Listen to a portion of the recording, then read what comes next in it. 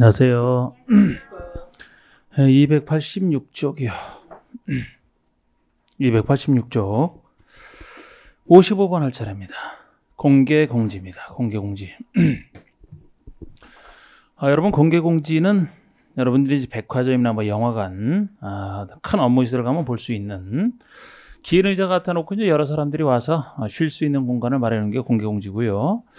공개 공지는 공개 공지는 일정한 건축물을 많은 사람들이 원하는 큰 건축물 5천 이상 5천 이상의 큰 건축물을 일정한 지역에 설치할 때 공개 공지를 설치해야 됩니다. 근데 여기서도 이제 그 설치 대상 지역이 제일 많이 나왔거든요. 대상 건축물은 뭐 거의 잘 안 나왔는데 알아두시면 좋고 그래서 어떤 대상 건축물 요구할 때는 대상 건축 지금 지금 공개 공지 처음 하는 거죠, 그죠? 문제가 한 문제만 나와 있나? 에, 하여튼 5천 이상인 문화 집회 시설 공개 공개가 설치되는 거 상상하시면 돼요. 상상하시면. 그래서 우리가 어, 대형 영화관, 영화관 가면 볼 수 있는 게 문화 및 집회 시설, 문화 및 집회 시설, 또 백화점 가면 볼 수 있는 게 판매 시설, 판매 시설. 판매 시설 중에서는 농수산물 유통 시설은 제외합니다. 농업 농업인의 이익을 해서 이제 빼주는 혜택 주고요. 뭐 업무 시설, 큰 사옥, 종교 시설, 큰 교회 같은데. 숙박 시설, 호텔 이런 거. 그런 것을 어느 지역에 설치할 때 공개공지를 설치해야만 되느냐?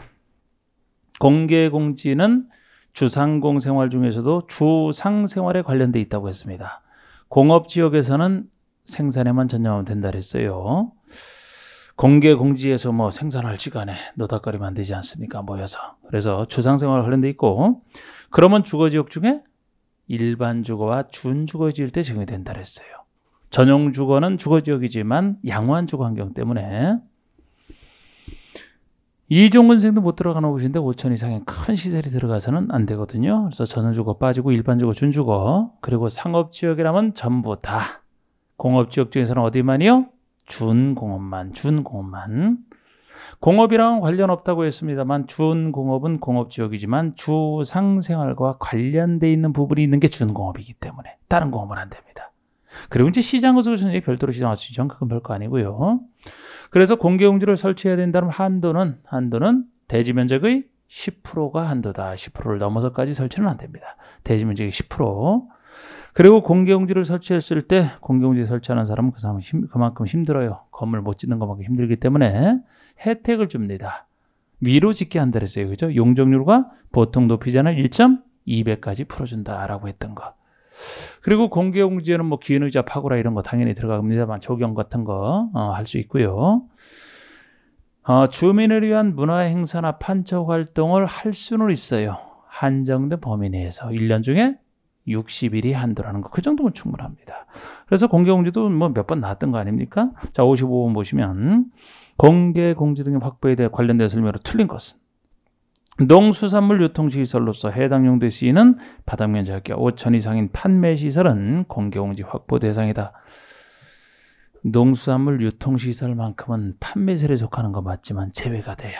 농업인의 이익과 관련돼 있다 그래서 요거는 공개공지 확보 대상이 아닙니다. 그러니까 요거 하나 정도 냈을 뿐이에요. 요거 하나 정도. 두 번째, 요게 틀렸고요. 공개공지 등의 면적은 대지 면적의 10% 이하에서 조례로 정한다. 대지 면적의 10%가 한도입니다. 대지 건축 면적, 연면적 아니고 대지의 공개공지를 확보하는 것이라 대지 면적의 10%가 한도라는 거. 이 경우 조경 면적과 조경 면적과 매장 문화재 원형 조, 보존 조치 면적 매장 문화재에 관련된 거 요거 총계공지 면적으로 할 수 있어요. 그 다음에 3번에 공개공지를 설치하는 경우 해당 지역의 적용되는 용적률의 1.2배 이하에서 완화 적용이 가능하다. 용적률과 보통 높이지 한 1.2까지 1.2배까지 풀어줄 수 있다. 혜택. 4번에 공개 공지 등을 설치하는 경우에 높이지 않은 해당 건축에 적용되는 높이 기준의 1.2배 이하에서 완화 적용이 가능하다. 이것도 1.2배. 5번에 공개 공지 등에는 연간 60일의 기간 동안 주민들이 위한 문화 행사를 열거나 판촉 활동을 할수 있다. 그렇습니다. 근데 공개공지에서 제일 많이 나온 게 하여튼 지역인데 공개공지 확보 대상 지역에 대해서는 없어요. 지금 없는데 아까 얘기는 다시 한번 말씀드리면 여기 없으니까 주거지역 중에서는 일반 주거, 준주거에 설치할 때 상업지역은 전부 다 공업지역 중에서는 준 공업 지역에만 설치할 때 그렇게 알아두셔야 됩니다. 56번. 대제 적용 및 공개 공지대에 설치된 설문으로 옳은 거 적용과 공지에 대한 이제 복합 문제죠. 1번 도중계획 시설에서 건축하는 연면적가 1500제곱미터 이상인 가설 건축물에 대해서는 적용 등의 조치를 해야 된다. 이거는 앞에서 한 겁니다. 가설 건축물이면 적용할 필요 없다. 2번 면적 5천 미만인 대지에 건축하는 공장. 작은 공장 아닙니까? 적용 등의 조치를 하지 아니할 수 있다. 이게 맞아요. 자, 우리 공장이라면 대지 면적 5천 미만인 대지에 건축하는 공장, 연면적 1,500 미만인 공장, 그리고 산업단지 내 공장이 다 들어가죠. 물류시설이면 어떻습니까? 물류시설이면 연면적 1,500 미만의 물류시설을 얘기하는데 주상에 설치할 때는 제외해야만 됩니다. 주상에서는. 그거 주의하시면 되는 거. 다른 건 뻔하고요. 3번에 녹지 지역에 건축하는 창고에 대해서는 적용도 조치를 해야 된다. 녹지 지역이잖아. 녹지. 녹지와 비도시만 적용할 필요 없다. 4번에 상업지역에 건축을 했을 처럼 공개공지 등의 면적은 공개공지라면 상업지역에 건축할 때는 확보 적용됩니다. 대지 면적이 10%를 넘어야 된다? 대지 면적이 10% 넘을 수가 없죠? 10% 범위 내에서 조례를 정하는 부분만큼 확보하지 않습니까? 10%를 넘을 수 없어요. 10%가 최대치. 5번에 공개 공지 등을 설치하는 경우 건축의 건폐율은 완화에 적용할 수 있으나 높이지 않은 완화에 적용할 수 없다. 뒤가 틀렸어요. 여러분 앞에서 우리 건폐율은 완화에 적용할 수 있다 이렇게만 나면 이건 틀렸다고 볼 수 없어요. 맞아요. 법의 내용이거든요.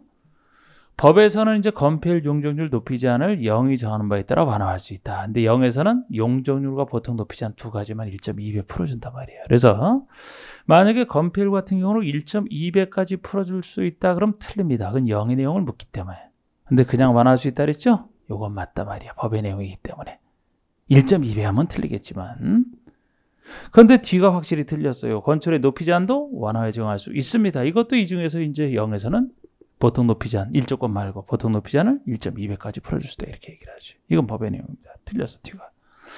자 이제 그 다음에 나오는 게 이제 옆에 부터 나오는 게 구조재료 파트거든요. 이 구조재료 파트는 항상 얘기했듯이 건축법에서는 요거 하기 힘든 부분이 되겠습니다. 그래서 여기서는 뭐 문제가 어, 꼭 구조 단순 구조 파 재료 파트 아닌 것도 있긴 있어요.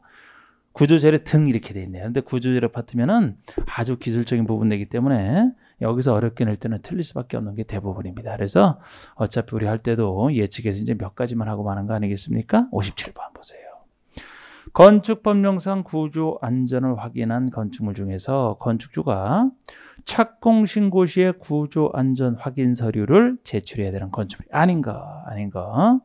이것도 옛날에 한 번 내고 안 내다가 29회 때 대폭 개정되고 나서 한 번 나와서 전체 30회 중에서 두 번 나온 거 아닙니까? 근데 제가 항상 이거 할 때마다 이게 구조안전 확인서류 제출 대상입니다만 똑같은 거 구조재료 파트 잘안 내기 때문에 사용검사를 받고 나서 사용검사를 받고 나서 건축물이 지진에 견디는 능력, 내진 능력이라고 하잖아. 내진 능력이 얼마인지를 공개해야 되는 대상과 똑같습니다. 구조안전 확인서류 제출 대상인 지금 하는 것과 내진 능력 공개 대상은 똑같기 때문에 혹시 내진 능력 공개 대상으로 바꿔낼 때 대비해서 하는 거라고 했어요. 보겠습니다. 아닌 것은 아닌 것은 1번의 단독주택 주택이라면 다 들어갑니다. 규모에 상관없이 그러니까 단독이 됐든 공동이 됐든 주택이라면 규모에 상관없이 다 들어가요. 주택에 대한 안전성 강화 아, 주택은 다 들어갑니다. 그래서 1번도 그렇고요. 5번 다세대 주택도 규모에 상관없이 다 들어간단 말이에요. 그리고 2번의 처마 높이가 10m인 건축물. 이건 옛날부터 있었던 겁니다. 건축의 보통 높이는 13m 이상. 전체 높이가 아니고 처마까지의 높이는 9m 이상. 그러면 10m라면 9m 이상에 속하기 때문에 맞고요. 3번의 기둥과 기둥 사이 거리가 10m인 건축물, 기둥과 기둥 사이 거리가 10m 이상. 그러니까 이것도 10m 이상에 딱 들어가서 맞아요. 대상 맞습니다. 바뀐 갖고 문제는 있다 그랬어요. 4번입니다. 연면적이 330제곱미터인 2층의 목구조 건축물, 목구조 건축물, 목구조. 기둥과 보가 나무 구조로 된 목구조 건축물을 얘기합니다. 이것은 보통 건축물이 보통 건축물이 층수에서는 2층 이상. 층수에서는 2층 이상. 또는 연면적 200 이상이거든요. 이게 바뀐 부분이에요. 보통 건축물이 다 2자, 2자. 층수는 2층 이상. 보통 우리가 건축부에서 3층 이상부터 조금 큰 층수로 본다라고 했습니다만 여기 옛날에 3층이었다가 이것만 2층 이상으로 바뀌기 때문에 이것만 이제 예외지. 2층 이상. 아니면 연면적 200제곱미터 이상 보통 건축의 2층 200이 보통입니다. 그런데 목구조는 거기다 예외로서 층수가 3층 이상, 3층 이상. 연면적은 500제곱미터 이상이잖아요. 일반 건축이 2층 이상 또는 200 이상, 200제곱, 2층 이상 또는 200제곱미터 이상, 목구조 건축물이면 3층 이상 또는 500 이상이란 말이에요. 그럼 여기 목구조 건축물인데 둘 중에 하나에 속하면 되는데 연면적이 330제곱미터니까 500 이상이 아니죠? 2층이니까 3층 이상이 아니잖아요. 둘 다 해당이 안 되기 때문에 여기에 답이 됐던 겁니다. 이게 주로 바뀐 부분이에요. 자, 그 다음에 38번 같은 게 이제 피난 계단에 설치되어 있는 설명으로 틀린 거 됐는데 이것도 한번 나왔기 때문에 놓은 건데 어느 때 피난 계단을 설치, 어느 정도로 설치해야 되느냐. 이런 걸 하는 게 아니라 말이에요. 이런 거. 아예 하는 거 아니에요? 59번 보세요. 아니 뭐 특별 피난 계단 이거 어떻게 하려고 그런 거. 50, 59번 보세요.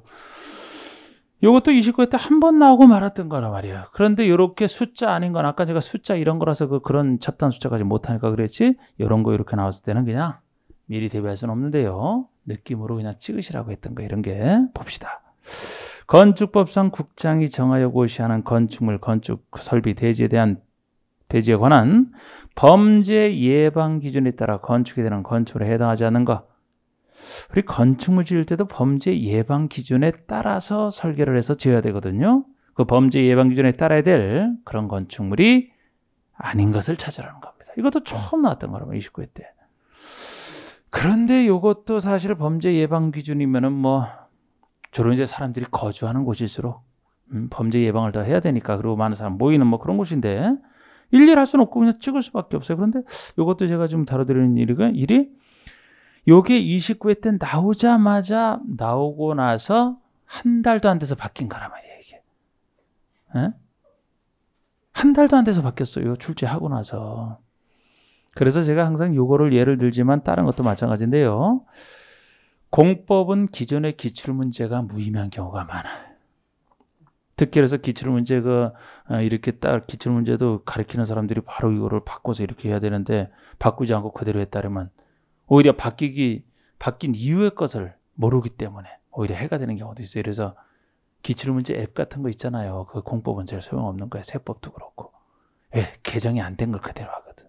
이것도 바로 하고 나서 한 달 후에 바뀐 거예요. 그래서 이것도 해드리는데 보세요. 이게 힘든 거예요, 이게. 교육연구소를 중 학교, 학교, 예? 학교. 이번에 이 건설 중에 일용품을 판매하는 소매점. 이 소매점에서 각종 범죄가 일어날 가능성이 크기 때문에 범죄 예방 기준에 따라야 됩니다. 소매점, 각종 소매점. 이종 중에 다중생활시설. 이 다중생활시설이 500 미만 작으면은 이종이고 크면은 4번에 숙박시설에 속한다라고 했는데 이 다중생활시설도 옛 고시원 사람들이 거주하는 곳이죠. 범죄 예방 기준에 따라야 된단 말이에요. 그런데 당시의 문제는 뭐로 냈느냐? 이거 수정한 거란 말이에요. 5번을 가지고 틀리게 냈던 겁니다. 그 당시에 이거 나올 때는 아파트 연립만 대상이었어. 주택 중에서. 아파트 연립만. 그것도 가지고 또 이때도 이제 하도 많은 게 자꾸 그러니까 지금 생각 잘 그때 그 당시 아파트 연립이 300세대 이상인가 이렇게 됐을 때가 범죄 예방기준에 따라야 되지 아파트 연립도 세대가 작으면 예방기준 따를 필요 없었거든요. 그런데 그 후에 싹 바뀌어서 뭐가 됐느냐? 지금은 세대수에 상관없이 강화된 거예요. 강화된 거. 아파트 연립에다가 다세대와 다가구 주택까지 들어갔어요. 그게 바뀐 부분입니다. 그러면 적어도 공동택수랑 아파트 연립 다세대는 다 들어가고 다가구는 단독이라고 했죠? 다가구는 단독이지만 다세대처럼 여러 가구가 모여 사는 곳 아닙니까?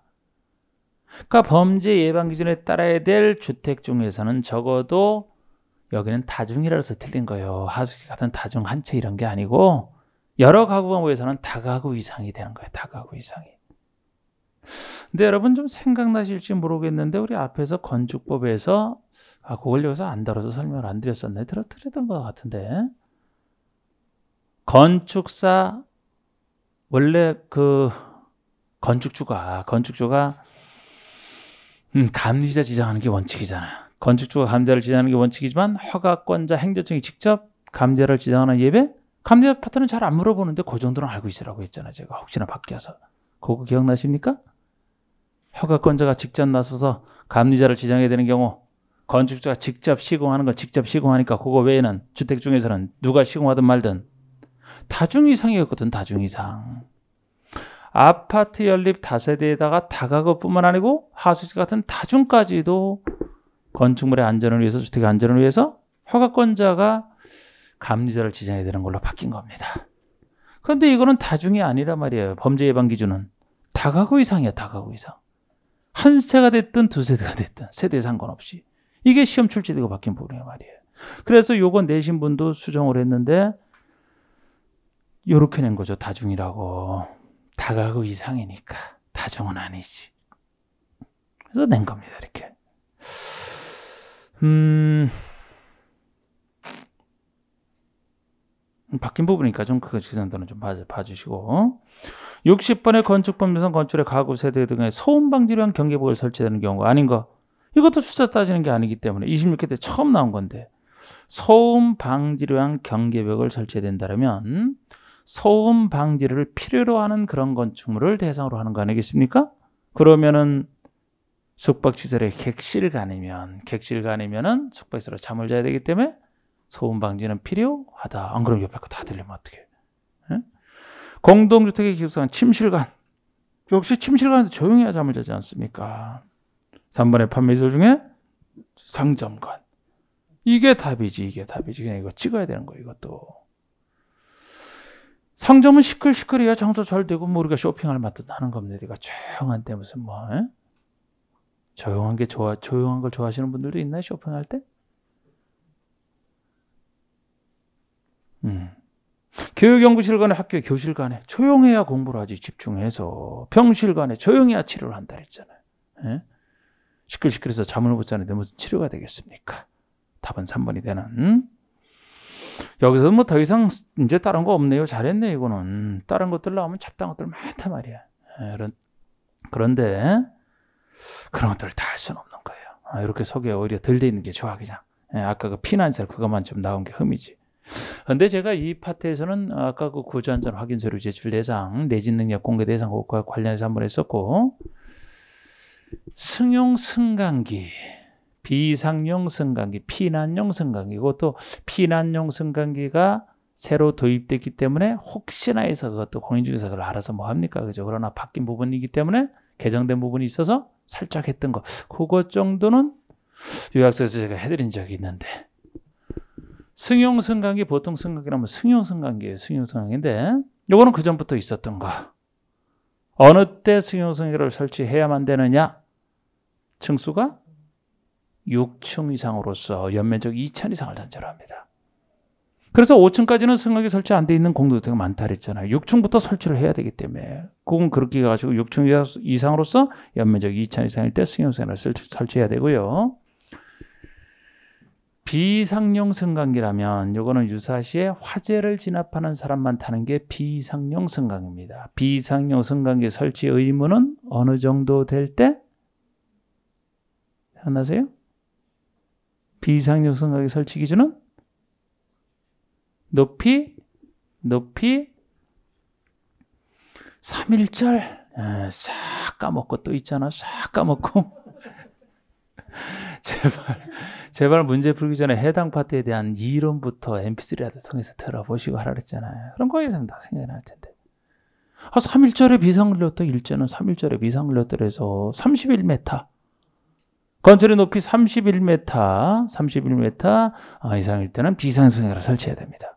이것도 그 전부터 있었던 것이고, 제가 비상승강기는 비상승강 관련해서 한 건물의 건물의 연면적에 따라서 몇 대 이상 설치를 해야 되는데 만약에 두 대 이상 설치를 한다면 서로 간격을 띄우라고 했어요. 모아서 설치하라고 했어요. 간격을 띄워서 해야 된다. 그걸 낸 적도 있다 그랬죠. 그 다음에 새로 신설된 게 피난용 승강기란 말이에요. 피난용 승강기. 피난용 승강기까지 신설됐기 때문에 이제 세 가지 승강기를 제가 해드린 거예요. 자, 우리 피난용 승강기는 아까 비상용이 화재 진압하는 사람만 썼듯이 그것과 달리 반대로 피난용으로만 쓰는 걸 얘기합니다. 피난용 승강기는 어떤 건축물에 피난용 승강기를 설치해야만 되나요? 의무? 고층? 고층?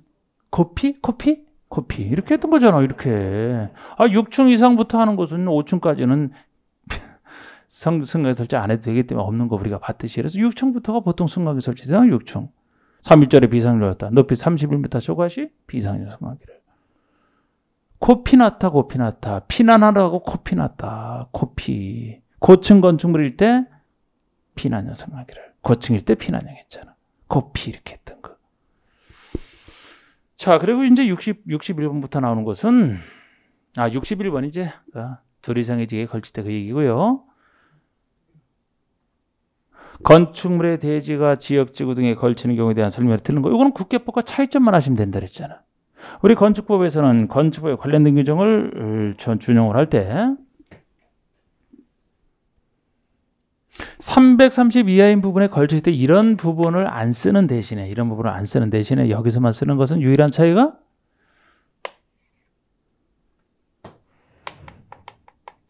둘 이상의 지역 등에 걸쳐 있다 그럴 때 과반을 차지하는 부분을 봅니다. 반을 넘는 부분이 있는지 없는지 예?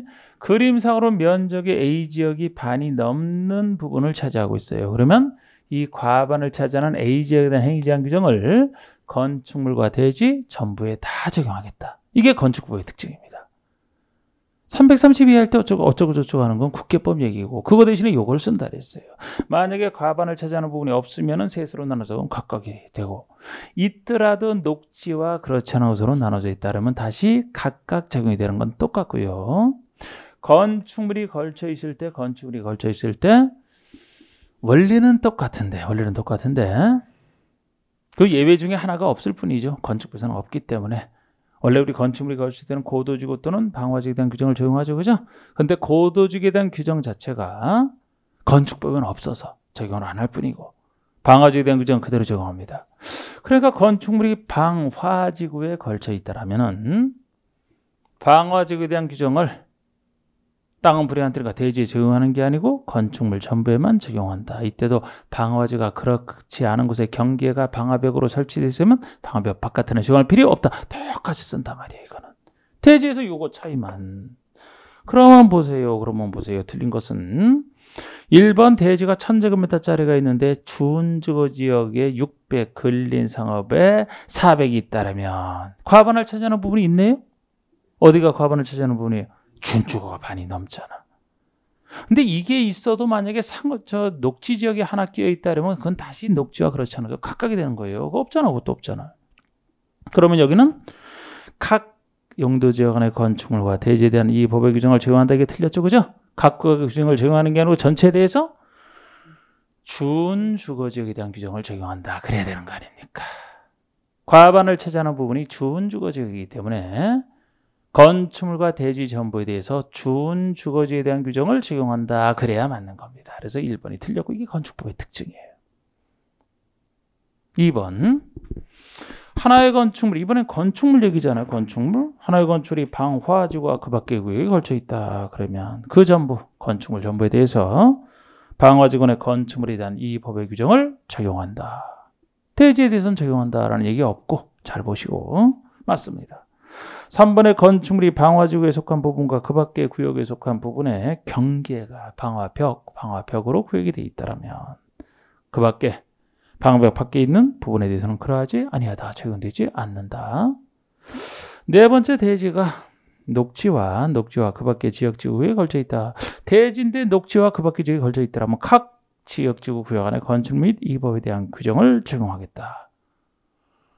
녹지가 껴 있으면 과반을 차지하는 말든 각각 다만 이건 녹지지에 건축물이 걸쳐 있을 때 방어지에 걸칠 때 방어지에 대한 규정 그대로 적용하는 거 똑같습니다. 건축법에 저 국계법이랑 됐어요. 5번은 뭐 더 낼 거 없으니까 그냥 뭐 조례로 정하는 거 따로 이제 됐어 이런 거 안 했대.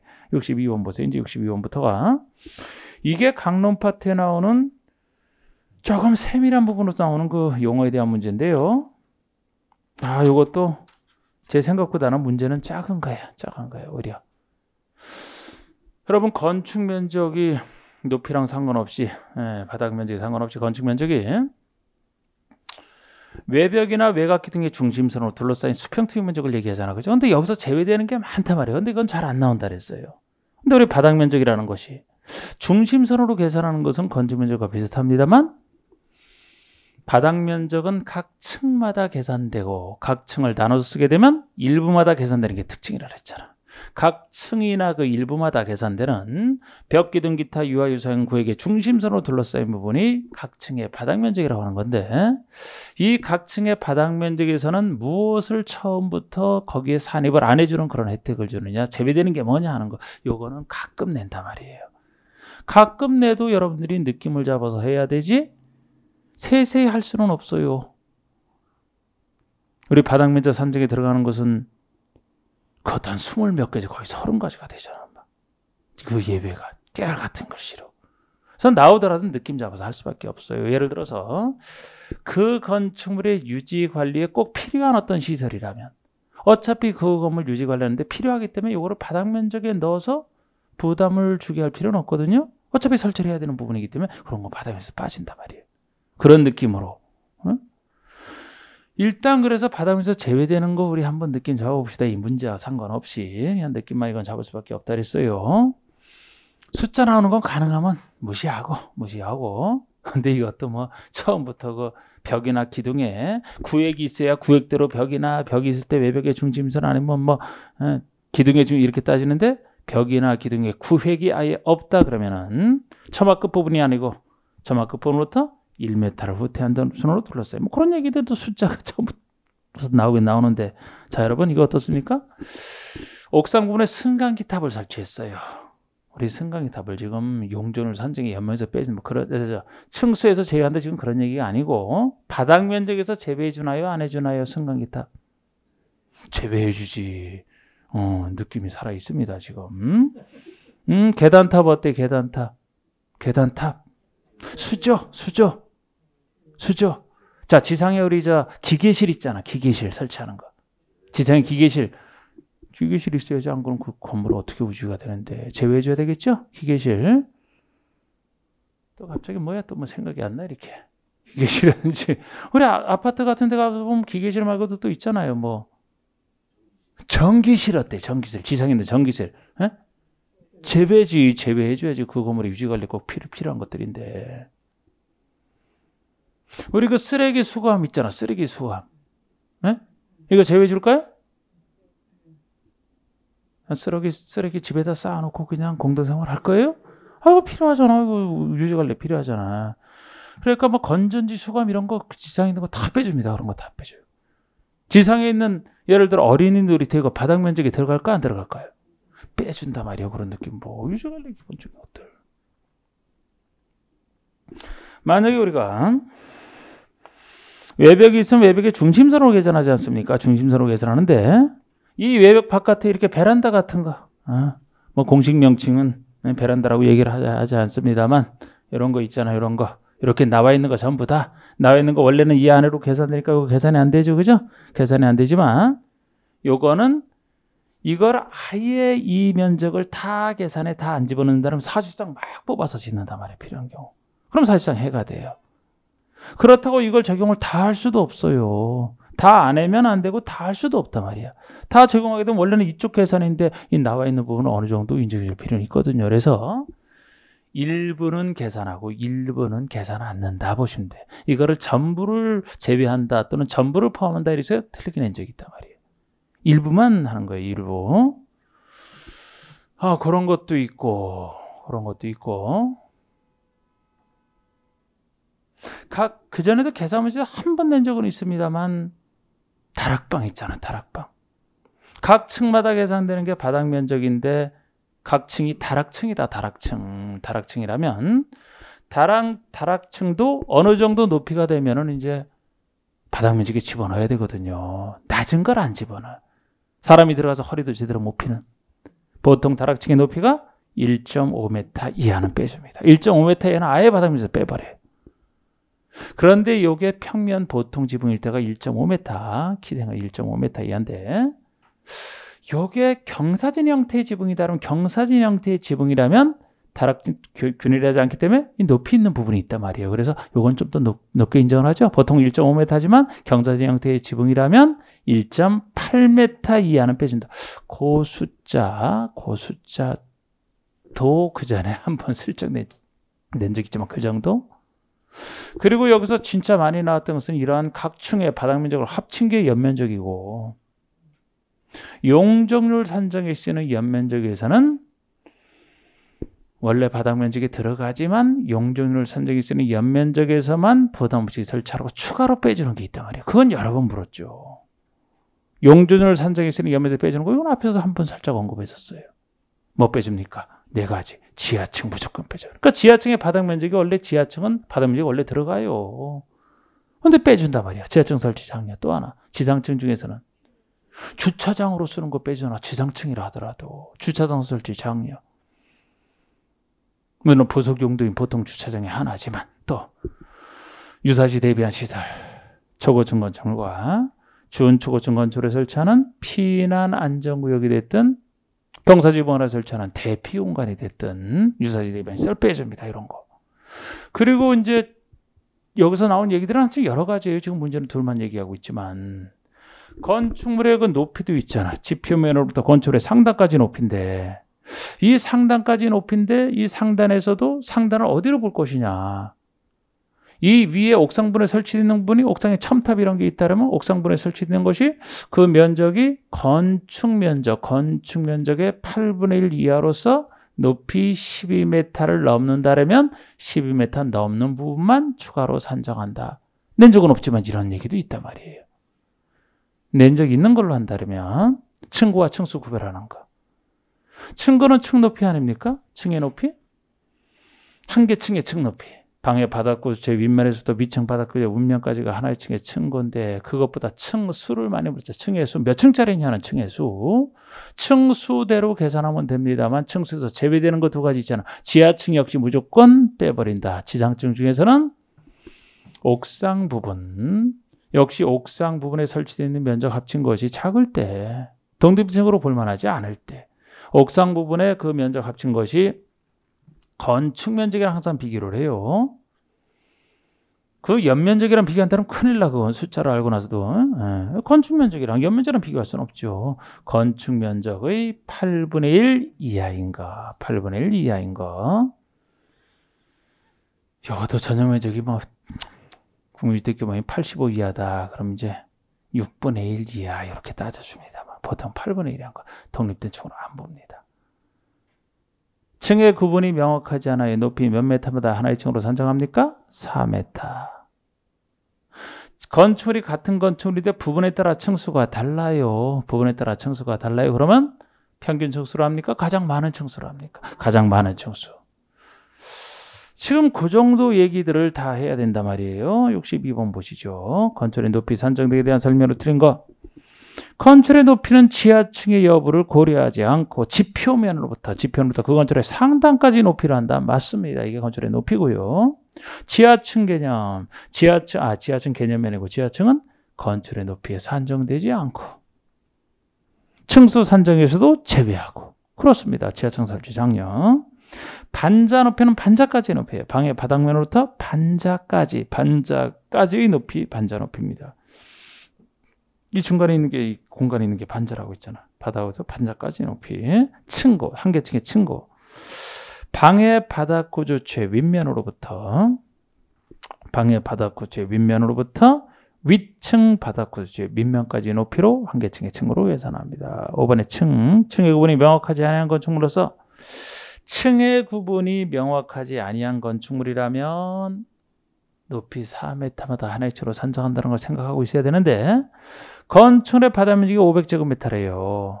한 개층의 바닥 면적이 500제곱미터인데 이 바닥 면적이 250에 해당하는 부분은 높이가 16m고 나머지 250에 해당하는 부분은 200m이면 20m이면 몇 층짜리냐 하는 겁니다. 이거는 하나의 건축물인데 바닥 면적 250 따로 250 따로니까 부분에 따라 층수가 높이가 다른 경우라 말이에요, 이게.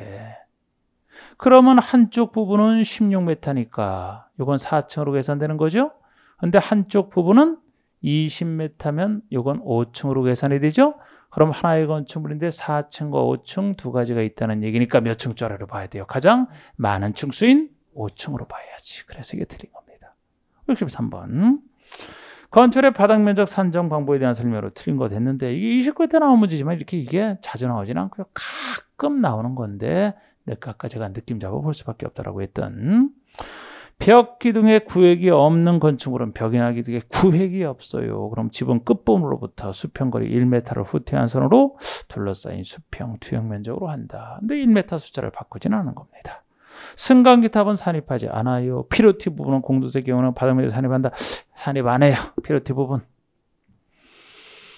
여러분 피로티 부분을 요새 많이 활용하지 않습니까? 우리 피로티 부분은 항상 벽을 상단부로 허물어버린 부분이 피로티 부분이라 기둥만 남겨놓고 주로 이제 공중 통행에 사용되는 거 이런 건 무조건 이제 철치 장렬에서 빼줍니다. 아예 빼주고 공동주택에서 피로티 부분을 쓴다 그러면 주차장 쓰는데 잘 활용하라고 공중 통행 여부와 상관없이 공동주택에서 피로트는 바닥면에서 다 빼줘요. 이걸 집어넣을 리가 없는 거예요, 이거를. 예? 이런 걸 바닥 면적에 집어넣는다면 누가 피르트 구조 설치합니까? 다 튼튼하게 아예 그냥 예? 다 벽까지 해서 다 제대로 짓지. 예. 피르트 부는 한참 장려하다가 글쎄 지진 사태 이후에 좀 뜸해진 거지. 이게 그전엔 참 장려했단 말이에요, 이거를. 혜택. 예? 산입하지 않습니다. 산입할 리가 없어요. 4번에 공동체로서 지상층에 설치하는 조경시설 산입하지 않습니다. 지상층에 서는 조경시설, 뭐 기계실 면적 이런 거, 예? 전기실 면적 이런 거 다 빼준단 말이에요. 다 빼줘 이런 거. 건축의 노대, 노대 바닥. 아까 얘기한 거 이게 노대란 말이에요. 다 밖에 다 날, 노출되어 있는 걸 다 노대라고 해요. 베란다니 뭐 명칭에 상관없이. 그런 건축의 노대 바닥은 난간 등의 설치 여부에 관계없이 노대 면적, 전체 노대 면적, 나온 노대 면적에서 노대가 접한 가장 긴 외벽에 접한 길이의 1.5를 곱한 값을 뺀 면적, 즉 일부 면적만을 바닥 면적에 산입한다는 얘기니까 다 산입하는 게 아니고 일부만 산입한다 보시면 돼요. 이걸 전부를 산입한다 또는 전부를 산입하지 아니한다 그래서 틀리게 냈던 겁니다. 일부만 산입한다. 이 숫자를 바꿔냈던 게 아니고 어, 일부만 산입한다라고 보시면 되잖아요. 다음 3번만 틀린 겁니다. 자 이번엔 높이 제한이 나오네요. 높이 제한이. 자 우리 건축물의 높이 제한하면 두 가지 아닙니까? 보통 높이 제한이 가로구역별 높이 제한. 가로구역별 높이 제한이라면 도로로 둘러싼 일단의 지역 도로로 둘러싼 일단의 지역 가로구역 두 개 그린 거예요 지금 어디나 다 가로구역이 있지 않습니까? 그러면은 허가권자인 행정청이 가로구역별로 여기는 높이 얼마, 높이 얼마 가로구역별로 정하는 게 원칙이에요. 정할 수 있습니다. 정할 수 있지만 같은 가로구역 내에서도 여러 가지 예외가 존재해요. 건축물별로 따로 통제할 필요가 있으면 따로 정할 수도 있고 허가권자인 행정청이 높이를 정한다고 했는데 허가권자 중에서도 예외적인 대형 건축에 대한 허가권자 특별시장, 광역시장이라면 범위가 워낙 넓거든요. 시장 군수 구청장이 할 때는 그나마 특별시장 광역보다는 낮은 작은데 특별시장 광역시 도지사나 허건자 아니니까 특별시장 광역시장이 만약에 가로길 높이잖아 할 때는 특별시만 해도 그 밑에 얼마나 많은 구가 있고 구별로 또 얼마나 많은 가로길이 존재합니까? 그래서 특별시장 광역시장이 직접 정하지 않고 조례에 맡길 수가 있어요. 시군구에서는 못 맡깁니다. 특별시 광역시가 워낙 넓어서 특별시 광역시 조례로 통제할 수도 있는 예배. 그 정도가 보통 가로구에 대한 얘기예요. 별다른 얘기 없어요. 그럼 특수한 높이 제한을 많이 했던 거 아닙니까? 자, 우리 특수한 높이 제한이라면 일조권 확보란 높이 제한 말이죠. 일조권 확보란 높이 제한. 자, 요것도 우리 말로 기억만 대, 한번 되살려 봅시다.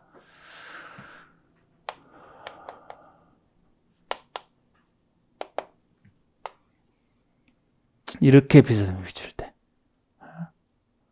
여기에 마음껏 짓게 되면 이쪽에 일주권을 침해한단 말이죠. 그런데 이 대지 기준은 지금 여기 지을 때 문제인데, 여기 지을 때 문제인데, 이 대지 기준에서 이쪽이 정북 방향에 있는 대지고요. 북쪽에 있는 정북 방향에 있는 대지고 이쪽이 정남 방향에 있는 대지가 되겠습니다. 정남 방향에 있는 대지가 되겠어요. 이쪽의 일치권을 침해하지 말라는 게 원칙이 되겠습니다. 이건 예외적으로 이쪽으로 또 띄우는 건 예외적 현상의 원칙 이 건데 이 규정은 일단 원칙이 적용 범위부터 하셔야 되는데 공동주택이 예외고 보통 건축이 원칙 아닙니까? 보통 건축물이라면 요 건축물을 어디에서 지을 때 일단 이 규정을 적용받느냐 특수한 높이잖아 아무 때나 적용받는 게 아니고 일조권은 주거 생활과만 인정되는 거예요. 아까 공개공지가 주상생활에 관련돼 있다면 일조권은 주거 생활과만. 상가 생활과도 관련이 없어요. 직사광선 쭉 들어가면 다 제품 변속된다라고 망가진다 그랬잖아. 주거 생활과만 관련돼 있기 때문에 주거 지역에 지을 때인데 주거 지역 중에서 전용 주거와 일반 주거에서 지을 때 적용되고 얘기하세요. 알면 얘기하세요. 아이, 조용히 있지 말고 알면 얘기하시라고. 자, 준주거만 하더라도 주거지역이지만 상업업무기능 보안 상업이랑 관련돼 있기 때문에 이것은 빠지는 거예요. 여기서만 지을 때 적용이 되는 게 원칙인데 이때도 원칙이 어느 때냐? 이 중에서도 아예 쓸 필요 없고 정부라도 높이지는 원칙이라는 겁니다. 해야 된다 해야 된다 남쪽에서는 할 수 있다 예외로 표현되고 해야 된다인데 이것도 세세하게는 잘 안 물어보지만 정부라도 높이지 않으려는 얘기가 건축의 높이 9m 이하까지는 9m 이하까지는 정북방의 인접 대지 경계선으로부터 최소 1.5는 떼어라. 띄어라. 사실 최소 1.5m 이상 중에서 조례가 정하는 거리만큼을 띄어야 되니까 최소가 1.5가 되는 거예요. 9m를 넘는 부분은 그 높이의 반 이상을 띄어서 져라. 이렇게 하는 거라고 했습니다. 이게 정부라도 높이 제한인데 전국이라도 높이 제한에 따라야 되는 게 원칙입니다만 아직까지 시험에 나온 적은 없습니다만 이 전국번호던 높이 제한을 적용 안 하는 예배가 세 가지가 있단 말이에요. 그것도 이제는 알아야 된다 그랬어요. 아직 나온 적은 없지만 나중에 추가된 것이라. 이 정부의 높이 제한을 여기에 해당돼도 적용 안 받는 경우라는 게 안 받는 경우라는 게 뭐 지구 기획 구역 등등 몇몇 곳을 전제로 합니다만 아직까지 그런 것까지는 몰라도 될 것 같고 도로 너비가 몇 메타 이상인 도로를 넓은 도로로 봐서 그 넓은 도로 양쪽에 있기 때문에 사실상 적용할 필요가 없다. 너비 20m 이상의 도로를 넓은 도로로 본다라는 거 그거 하나. 그리고 건축 협정구역에서 지을 때 우리 건축 협정구역에서는 건축 협정을 그 대지 간에 체결했기 때문에 협정 맺은 땅에 전부를 대해서 통합 적용하기 때문에 협정구역 내에 있는 땅 개별적인 땅들끼리는 이런 거 적용할 필요 없다 그랬잖아. 또 하나가 또 하나가 지금 여긴 짓는 땅이 전용과 일반주적 하나를 얘기하는 것이거든요. 그런데 여기에다 지을 때 전용과 일반적으로 하더라도 여기서 직접적인 보호 대상은 이쪽 정북방이기 때문에 여기도 역시 보호할 가치가 있어야 보호를 해준다는 거예요. 아까란 취지랑 취지대로 역시 정북방의 대지가 전용과 일반 주거지역 중에 하나래야 이쪽이 일조권을 보호할 가치가 있는 것이지 여기가 상업지역처럼 전용과 일반 주거지역이 아닌 곳이면 적용할 필요 없다 그랬죠? 세 가지. 그리고 예외적으로 남쪽의 경계선부터 똑같은 기준에 따라 띄울 수 있는 거리는 있습니다. 이거는 두, 크게 두 가지는 남쪽에서 띄울 수 있다, 띄울 수 있다. 남쪽으로 두 가지. 새로 개발하는 곳첫 번째잖아. 도시 개발하든 정비 사업을 하든 택지 개발하든 싹 밀어버리고 새로 개발한 돈은 싹 밀어버리고 택지를 딱딱 분양해 주니까 분양받은 택지별로 북쪽에서부터 뛰어야 되는 게 원칙이지만 남쪽에서 뛰어도 거리는 확보가 된다라고 했던 것 또 하나가 북쪽 신경 안 써도 되는 경우 있어요. 예를 들어 여기가 아예 제가 아, 전용과 일반적이지 아니면 이 규정 자체가 적용이 안 된다 그랬고 전용과 일반 주거 지역이지만 이쪽에 대지 소유자와 합의를 했다. 그러면 이쪽에서 띄울 수 있고 또 이쪽이 전용과 일반 주거 지역이지만 앞으로도 건축물을 못 짓는 땅이 명백하다라면 도로라든지 하천이라면 앞으로 여기 건축물을 못 짓죠? 그럴 때는 이쪽 무시하고 남쪽에서 띄울 수 있다. 이게 보통이 높이자는 얘기입니다. 그런데 예외적으로 예외적으로 원칙을 여기다 써놔야 되는데 예? 예외적으로 공동주택이라면 공동주택이라면 크기 때문에 확대 적용을 한다라고 했는데 아무리 확대 적용한다 하더라도 확대 적용한다 하더라도 제일 토지 용도를 높여야 되는 중심 상업이라든지 두 번째 비싼 일반 상업, 중심과 일반 상업 지역이면 토지 용도를 높여야 되기 때문에 아무리 공동특이라도 일조권 높이잔을 해서는 안 된다. 중심과 일반 상업 지역을 제외한 지역에서 지을 때 적용을 한다라고 했다. 확대 적용입니다. 근데 아무리 공동이라도 중심 일반 제외해요. 그래서 이거 기본적인 대상 범위를 따질 때 대상이 공동택이 아니냐에 따라서 공동택이라면 중심과 일반 상업에서 짓는다 그것만 적용 안 되고 나머지는 다 적용되는데 공동이 아니라면 전원과 일반에서 지을 때만이고 이때 공동주택에서는 이 높이 제한 외에 뭐 인동거리, 동과 동사 여러 가지 더 있습니다. 기술적인 부분에 불과하고 전체적으로 2층 이하로서 높이 8m 이하 순수 2층 높이 2층 이하로서 높이 2m 높이 2층 높이 8m 이하 동시에 갖추게 되면은 절에 가서 하는 바에 따라 이러한 높이 제한 자체를 적용 안 할 수도 있다라는 것까지 자 64번 한번 보세요. 64번 건축의 높이 제한에 대한 설명으로 틀린 거 됐는데 허가권자는 같은 가로구역에서 가로구역별 높이 제한 아닙니까? 같은 가로구역에서 건축의 용도 형태에 따라 건축의 높이를 다르게 정할 수 있다. 원래는 가로구역별로 높이를 통제하지만 같은 가로구역에서도 건축물별로 다르게 정할 수 있다. 두 번째, 일반 주거 지역에서 건축물을 건축하는 경우 일반 주에서 건축물 짓는 건축물이에요. 그런 일주권 확보는 높이 제한 받습니다. 일반 주거잖아요. 건축의 각 부분을 정남방향으로부터의 인접대지 경계선부터 조례가 정하는 거리 이상을 띄워 건축해야 된다. 띄워서 건축해야 된다라고 하는 건 원칙적 표현이거든요. 이게 예의적 표현을 하면 할 수 있다 그래야 되거든. 그러니까 이게 정남 정북으로 바뀌어야 되는 거야. 원칙을 나타내기 때문에. 예. 그리고 예외적으로 남쪽에서 띄울 수 있다 하려면 아까 제가 얘기한 크게 두 가지 중에 하나가 들어가야지만 맞는 것이 되는 거죠. 그러니까 이게 틀렸고 3번의 위 2의 경우 즉 북쪽으로부터 띄울 때 높이 9m 이하인 부분은 인접대지 경계서부터 1.5m 이상을 띄워 건축해야 된다. 이것도 정확한 표현이면 1.5m 이상 그렇지 1.5m 이상 중에서 절해가 정하는 이런 정확한 표현이면 뭐 최소 1.5m 이상 4번의 경관지구 안의 대지 상호간에 건축하는 건축물로서 해당 대지가 너비 20m 이상 도로에 접하고 있다. 넓은 도로에 접하고 있으니까 이때는 위 이해 규정 정부의 높이 제한을 적용하지 않는다. 5번의 2층 이하로서 높이가 8m 이하, 2층 이하로서 높이가 8m 이하인 건축물은 일정의 확고량 건축의 높이 제한을 적용받지 아니한다. 아휴, 이것도 여러분 5번 얘기는 2층 이하로서 높이 8m 이하는 잘 표현하고 있는데 이것도 무조건 높이 제한을 적용하지 아니한다. 그럼 이것도 이재기 대상에 대해 제가 볼 때는 조례가 정하는 바에 따라 적용하지 아니할 수 있다 그래야 되는 거예요. 조례로 정해야만 되는 겁니다. 여러분 제가 아까 너비 20m 이상 막 이 북쪽 방향이 어그 전용과 일반 주거지가 아닌 곳이다 그럴 때는 아예 이 정북 방향에도 높이 제한을 적용을 안 하거든요. 그건 아예 안 하는 케이스고 2층에로서 8m 이하일 때는 무조건 안 하는 게 아니고 조례가 정하는 바에 따라 적용을 아니할 수 있다 이렇게 돼 있는 거란 말이에요. 무조건 안 하는 거가 큰 차이죠 이거는.